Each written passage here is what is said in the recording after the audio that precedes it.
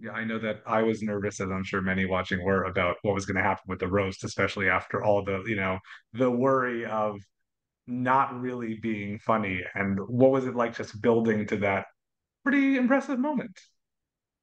It was so much fun. I love that you get the catchphrase at the very beginning, so you know like what her plan is, and you're like, no, no, no, no, don't do that. And I think it was just such a great surprise that it actually ended up working for her.